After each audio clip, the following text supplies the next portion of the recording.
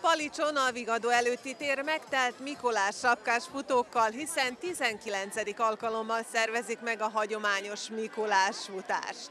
Az eseményen szülők és gyermekek, nagytaták és nagymamák együtt tették meg a távot, ami közel másfél kilométer volt.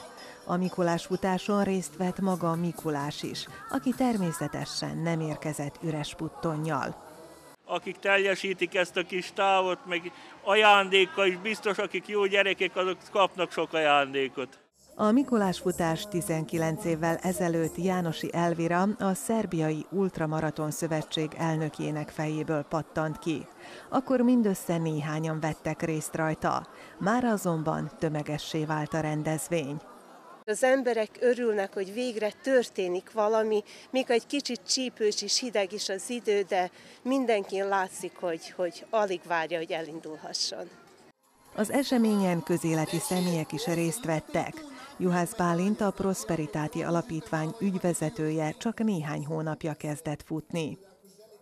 Május óta futok, és úgy gondoltam, hogy ha már itt Palicson Mikulás futásra, akkor nem maradhatunk ki belőle. Egyébként is gyönyörűek ezek a sapkák, elég viccesek vagyunk, úgyhogy a jó hangulat adott. Ha már az ember itt van, és ilyen szép idő van, akkor kár el kihagyni. A Mikulás futást Horváth Tíme a alpolgármester nyitotta meg, aki örömmel nyugtázta, hogy egyre tömegesebbé válik a rendezvény, amely igazi téli családi program. Minden évben többen is többen vesznek részt, kicsik és nagyok együtt töltik el ezt a csodálatos, napfényes, de viszont hideg délelőttöt itt Palicson.